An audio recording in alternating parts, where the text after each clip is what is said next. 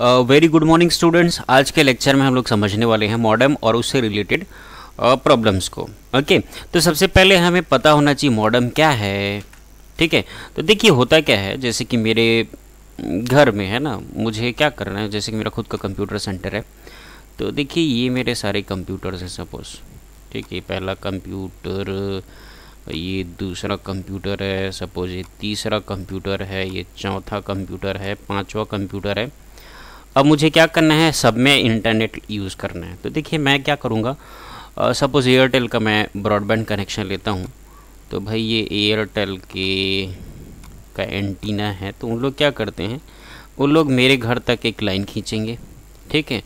और मेरे यहाँ उन लोग एक डिवाइस लगा देंगे, जिसका नाम है मॉडम ठीक है? तो देखिए, अब यहाँ से इंटरनेट का एक केबल इसमें डाल दूँगा इंटरनेट का एक केबल इसमें डाल दूँगा, एक केबल इसमें डाल दूँगा। एक केबल इसमें डाल दूँगा, एक केबल इसमें डाल दूँगा। तो देखो, यहाँ पर जो डेटा जा रहा है, वो डिजिटल फॉर्मेट पे इंटरनेट सिग्नल जा रहा है। और यहाँ तक जो डेटा आ रहा है, इंटरनेट का सिग्नल, वो एनालॉग फॉर्मेट है। तो भाई, इंटरनेट कनेक्टिविटी के लिए सबसे ज़्यादा ज़रूरी है क्या? यह मॉडम मॉडम और जो कि एनालॉग सिग्नल को डिजिटल में चेंज करता है है ना? तो सिंपल सा कंसेप्ट है। अब चलते हैं, शुरू करते हैं मॉडम के बारे में। तो what is modem a modem or broadband modem is a hardware device that connects a computer or router to the broadband network तो यह एक हार्डवेयर डिवाइस होता है जो ब्रॉडबैंड नेटवर्क होता है इंटरनेट के सर्विस के लिए। उससे हमारे कंप्यूटर को अथवा रूटर को यह जोड़ता है। What is modem short for modulator demodulator है ना? मॉड्यूलेटर एमओडी से मॉड्यूलेटर और डीईएम से demodulator is a hardware device that allows a computer to send and receive information जिसकी सहायता से हम लोग क्या कर सकते हैं? अपने कंप्यूटर के इन्फॉर्मेशन को हम किसी अन्य नेटवर्क तक पहुँचा सकते हैं और किसी अन्य नेटवर्क के इन्फॉर्मेशन को अपने कंप्यूटर तक रिसीव कर सकते हैं। इंटरनेट पर यही होता है? Over a telephone lines telephone line के ज़रिए ही डेटा यहाँ से वहाँ होता है। When sending a signal the device converts digital data into analogue तो देखिए, जब हम किसी सिग्नल को सेंड करते हैं तो हमारे मशीन में क्या है? डेटा जो है डिजिटल फॉर्मेट में है। तो उसे एनालॉग में सेंड करना पड़ेगा भाई। तो मॉडर्न क्या करता है? डिजिटल को एनालॉग को जब डिजिटल को एनालॉग में जब चेंज करता है, उसको बोलते हैं मॉड्यूलेटर और इसका जस्ट अपोजिट जब उधर से है ना एयरटेल वाले भेजते हैं इंटरनेट का सिग्नल तो मॉडर्न में जाता है।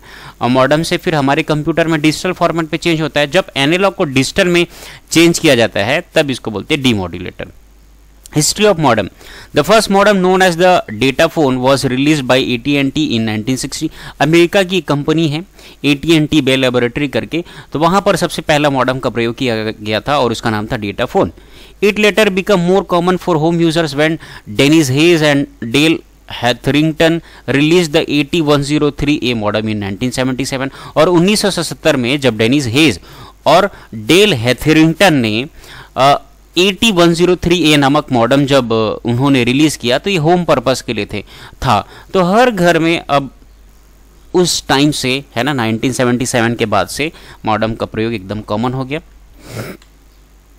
What is modem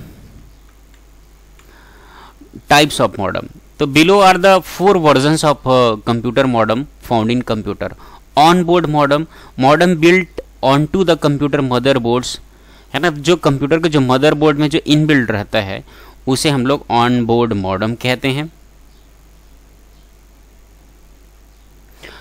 दिस और जो मदरबोर्ड्स में जो मॉडर्म होते हैं, उनको हम लोग रिमूव नहीं कर सकते हैं, लेकिन उसको डिसेबल या एनेबल कर सकते हैं। कैसे? जंपर या तो बायो सेटअप से। How to enter the BIOS setup और सीमो सेटअप सॉरी ये तो नहीं है हमारा पोर्शन फिर है internal modem the modem that connects to a PCI slot inside a newer desktop computer. तो देखिए, एक तो मदरबोर्ड से डायरेक्टली अटैच्ड रहता है, जिसको इनबिल्ट मॉडर्म कहते हैं।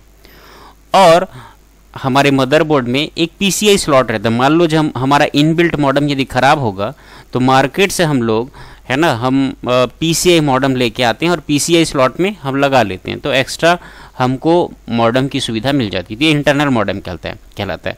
और external modem modem in a box that connects to computer externally using a serial port और अभी मैंने आपको एक डायग्राम में बताया था, इस तरीके का मॉडम है ना, जिससे हम लोग यहाँ से केबल अपने हर एक मशीन में ले जाते हैं तो एक्सटर्नल मॉडम कहलाता है। सिम्टम ऑफ़ मॉडर्न प्रॉब्लम तो भाई मॉडम में आने वाले प्रॉब्लम के क्या क्या सिम्टम है, वो हम लोग देखते हैं। ये सारे प्रॉब्लम है वन बाई वन हम डिस्कस करते हैं। Sudden stoppage one sure sign there is a problem with your router or even that it is breaking is a sudden stoppage of functionality तो देखिए अगर आ, आप इंटरनेट यूज़ कर रहे हैं और अचानक ही आपको इंटरनेट की सर्विस बंद हो गई है तो ये जो प्रॉब्लम है ये कहलाता है sudden stoppage when this happen the first thing you should do is eliminate the possibility that a simple accidental wire connection is not at the root of the problem. Check the connector wires and cables that link the router to other devices, such as the computer and modem to ensure they are fully inserted to their respective devices देखिए, जब आपको sudden internet की सेवा जो है service जो है stop हो जाती है तो करिए क्या? दो तीन चार काम आप कर सकते हैं प्राइमरली आप मॉडम को रीस्टार्ट करके देखें या तो फिर प्रॉपरली उसके सारे कनेक्श कनेक्टिंग जो वायर्स हैं, उनके कनेक्शंस को चेक करिए। अच्छे से प्रॉपरली वो कनेक्टेड है कि नहीं? या तो फिर हो सकता है उसके जो वायर्स होंगे, वह कहीं से बीच में ब्रोकन होंगे या तो टूटे हुए होंगे। तो ये वजह हो सकता है सडन स्टॉपेज का इंटरनेट सर्विस का। तो ये एक प्रॉब्लम है मॉडम का। Slow down Another sign that your router has problems or is on its way to breaking is a sudden slowdown in data transfer speed. तो भाई इंटरनेट की जो स्पीड है, वो कम हो जाना, ये भी एक मॉडम से रिलेटेड एक प्रॉब्लम है in most instances slow data transfer speeds are the result of high volumes of network traffic तो देखिए नेटवर्क में क्या होता है है ना, हद से ज़्यादा जब यूज़र्स बढ़ जाते हैं तो यह कहलाता है नेटवर्क का ट्रैफ़िक होना, जिससे बैंडविड्थ जो है नेटवर्क की, वो घट जाती है। और इसी की वजह से हमारा जो है जो इंटरनेट का जो स्पीड है या डेटा ट्रांसफ़र रेट है, वो हो जाती है कम। तो हम ट्रैफ़िक का लो होने का वेट कर सकते हैं। और, है ना, जैसे ही हाई बैंडविड्थ मिलेगा, उसके बाद स्पीड ऑटोमेटिकली बढ़ जाता है। Non-responsive. If your wireless router refuses to respond when it its wires and cables are properly inserted and secured, it's safe that your router is broken or needs to be repaired or replaced. ठीक है सारे properly wires हैं वो connected हैं उसके बावजूद भी हमको इंटरनेट इंटरनेट की सर्विस नहीं मिल पा रही है तो समझ सकते हैं कि अब वो नॉन रिस्पॉन्सिव स्टेट में आ गया है हमारा मॉडम उसे रिप्लेस करने की या रिपेयर करने की ज़रूरत है। On rare occasion however your routers non responsive can indicate the power outlet or surge protector to which the device connected has stop working plug the router in to another power source to determine if it if if this is the case if the router continues to be non responsive a new router may be in your immediate future तो देखिए एक तो rare ही हमारा जो modem है, वो non responsive होता है मतलब वो कोई भी हमें सिग्नल नहीं देता है। यदि ऐसा हो रहा है तो पहले तो आप पूरे वायर्स को चेक करिए। अगर पूरे वायर्स भी सही हैं तो जिस पावर सॉकेट में जहाँ से पावर सप्लाई आप प्रोवाइड कर रहे हैं मॉडम को, उसको वहाँ से उठा करके दूसरे पावर सॉकेट में उसको जा करके एक बार चेक किया जा सकता है। अन्यथा अगर उससे भी प्रॉब्लम सॉल्व नहीं हो रहा है तो हमें मॉडम को रिपेयर अथवा रिप्लेस रिप्लेस करने की ज़रूरत पड़ेगी। इंडिकेटर लाइट तो देखिए, ऐसे डीएसएल लाइट इंटरनेट लाइट है ना? रेड है मतलब इंटरनेट की सर्विस नहीं मिल रही है है ना? और यदि ग्रीन है मतलब इंटरनेट की सर्विस हमको आ रही है। तो ऐसे इंडिकेटर लाइट्स होते हैं। तो देखते हैं when your router works properly its data transfer indicator light should blink in intermediate inter mitently or remain con uh, constantly lit.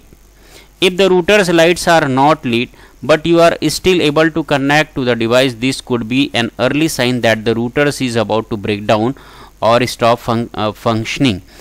This indicator light should always blink even when it's not uh, providing access to any of its connected devices if you are notice that your uh, router is starting to exhibit this warning sign keep an eye on the lights to see if the problem persist तो देखिए indicator lights होते हैं ये ये यदि properly अगर जल रहे हैं है ना ब्लिंक कर रहे हैं तब तो आपका रूटर सही है और यदि ब्लिंक नहीं कर रहे हैं तो भाई समझ सकते हैं आपके रूट मॉडम में प्रॉब्लम है कॉमन सॉल्यूशंस आप क्या क्या कर सकते हैं भाई ऐसे मॉडम में आने वाले प्रॉब्लम से बचने के लिए? रिस्टार्ट कर सकते हैं मॉडम को आप। आप सारे जो केबल्स हैं, उनको आप प्रॉपरली चेक कर सकते हैं, वो कनेक्टेड हैं कि नहीं। और स्प्लिटर है, कहीं पर टूटा वगैरह है तो उसको हम चेक कर सकते हैं। Ensure firewalls are configured correctly तो देखिए फायरवॉल भी कभी कभी क्या कर देता है, हमारे कुछ आउटकमिंग्स जो जो आते हैं सिग्नल उनको वो रोक देता है। तो हम उसे भी एक बार कन्फिगर करके देख सकते हैं, उनको चेक करके देख सकते हैं। Firewall monitor all network traffic on your device और restrictive firewall can slow internet speed तो देखिए, वो जो इंटरनेट फायरवॉल की सेटिंग होती है हमारे सिस्टम में, अगर उस फायरवॉल की सेटिंग को हमने नहीं चेंज किया तो वो क्या करता है? हमारे इंटरनेट की स्पीड को स्लो कर देता है। और हमें जा करके फायरवॉल को कन्फिगर करना चाहिए। Ensure there is a power going to your modem and or router तो देखिए, हमें ये चेक कर लेना चाहिए कि भाई, क्या बोलते हैं, उसको पावर सप्लाई प्रॉपरली मॉडम को मिल रहा है अथवा नहीं। अगर नहीं काम कर रहा है हमारा मॉडम तो उसको, उसकी पावर सप्लाई को हम अच्छे से कनेक्ट करके हम लोग एक बार उसकी चेकिंग कर सकते हैं। रन स्पीड टेस्ट देखिए, कई प्रकार के ओखला और कई तरीके के ना, ऐसे स्पीड टेस्टर आपको ऑनलाइन साइट्स हैं, वहाँ पर जा कर के आप स्पीड को टेस्ट कर सकते हैं, या तो फिर आप किसी, है ना, स्पीड अगर प्रॉपरली नहीं मिल रहा है तो ये टोल फ्री नंबर होता है, वहाँ पर आप ऐसे, है ना, कस्टमर केयर नंबर्स होते हैं, ऐसे अलग अलग सर्विस प्रोवाइडर्स के, वहाँ पर आप कॉल करके कंप्लेन दर्ज करा सकते हैं, यदि आपको प्रॉपर स्पीड नहीं मिल रहा है, तब। So thank you very much आज के लेक्चर में हमने जाना मॉडर्म के बारे में। मॉडर्म में आने वाले टेक्निकल फॉल्ट्स उसके सिम्टम्स और उसके सॉल्यूशन के बारे में। Thank you very much